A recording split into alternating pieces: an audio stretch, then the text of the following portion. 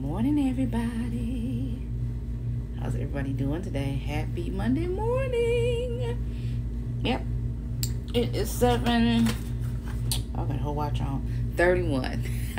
My name is Roscheeta Monique. I'm here Monday through Friday with the Daily Shift broadcast. So, welcome to the Daily Forecast. I am your new published uh, national best-selling author. So come on, um, I am in the book The Seeds of Hope. If you haven't received your copy, um, purchased your copy, pre-ordered your copy, you can go to bit.ly slash RB Seed of Hope. That's bit.ly slash RB S E E D O F H O P E.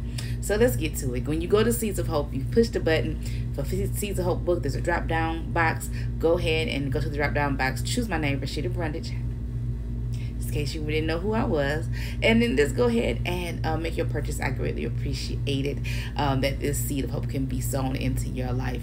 So, good morning, Kathy. Good morning, everyone.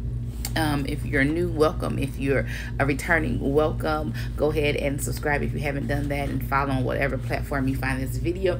Heart, like, share, uh, leave a comment because you know these algorithms, if nobody's participating in the conversation, the video just sits there and then you guys miss out on what the Lord is saying. And so today, I just wanted to touch on a little bit of what Pastor Brundage preached on it yesterday. And, um, a lot of times uh, we today's soul search monday according to the shift protocol. So let's talk about this. Our point of thinking and living in a thought place of sufficiency. Uh, we talk a lot about abundance, we talk a lot about lack, but let's talk about sufficiency, about the sufficiency of our God. Do you really believe that God is sufficient?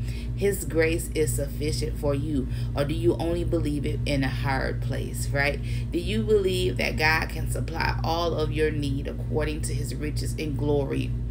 Um,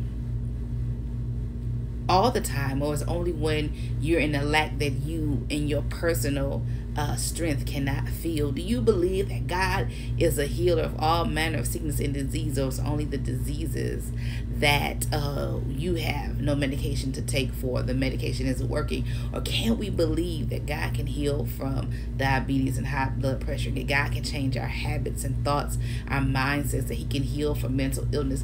God is sufficient, right? He has everything that we need. How do you believe in sufficiency? I was listening to uh, Pam Booker Friday. Was it Friday or Thursday? Friday when she was on with Klaviyo's uh, CEO and I think the lady from one of the ladies from Shark Tank. I think I don't know who that lady was. I ain't gonna tell y'all no lie. I had no no idea who these people are. I know Pam, and that's how I knew about this room that she was in in Clubhouse, and they were talking about, um, you know, the uh, beauty product space, the beauty space, and how saturated that it is, and uh, does she ever think that she has to fight, basically fight for her place and fight for her customers, you know, to keep her numbers? And she said she used to think that way. But now she realizes that there's enough for us all, right? There's enough for us all. So some people like core by nature and their customers and they're gonna gonna talk it up and they're gonna spend money, spend money, spend money and refer, refer, refer. And then there's other people that's gonna like Mane Choice. There's some other people that loves Alikay Naturals. There's some other people that may love um uh, smooth naturals whatever it is there's enough for us all and in the body we don't have to clamor for position or title or power or uh, influence. Why? Because God is sufficient. Everything that we need, we have. The Sunday school lessons. Why do you worry? When Jesus told them, when you go, don't worry about what you eat and what you drink and what you're going to wear. Don't worry about these things because the world does that, right? But if I supply for the birds. Birds don't wake up worrying about whether the worms are coming out today. They just get up and go get the worm, right? If the grass grows, regardless of what's going on in the world, um, God can can supply your need that you can grow no matter what's going on in the world. He proved that in this pandemic, right?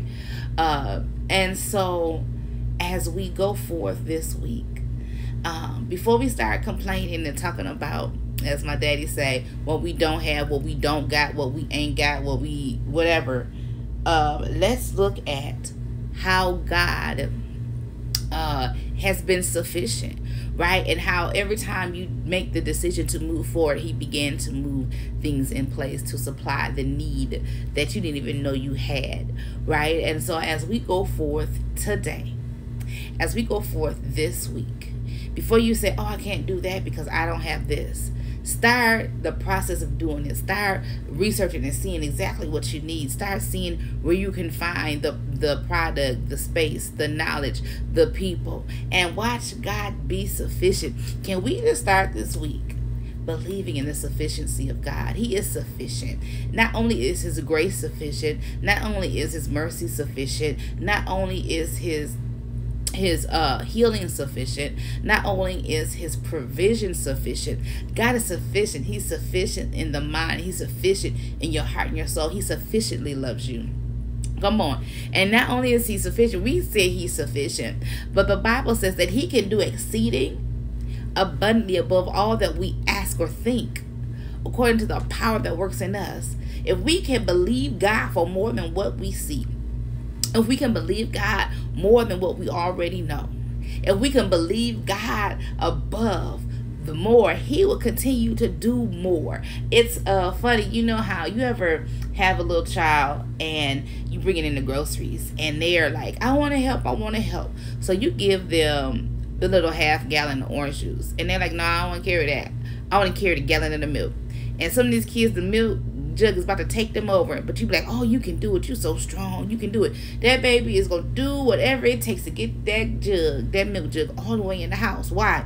And as why? Because you are encouraging them and you are uh, showing them this how uh, you much you believe in them. And now when I think about that, I think about God. The more we believe in Him, the more He like, oh, you think I did that? You think that was something? Let me show you something. Let me show you something else I can do. I believe God. And so today, I'm not going to be before you long.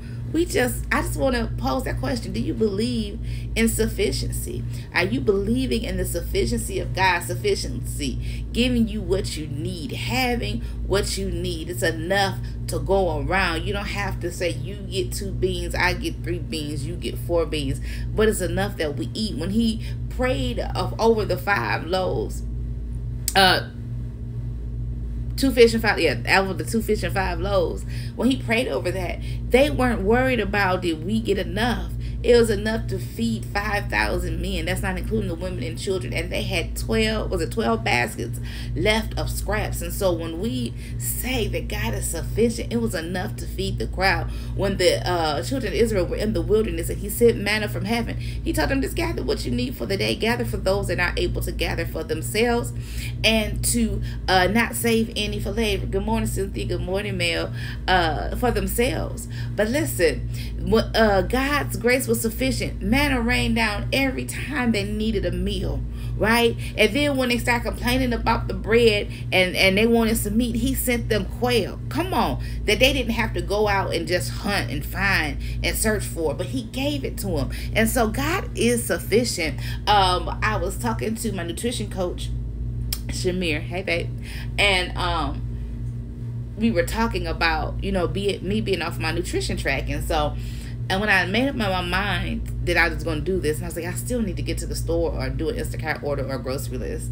And then my neighbor comes outside. Oh, guess what? Al brought me a whole bag of zucchini, right?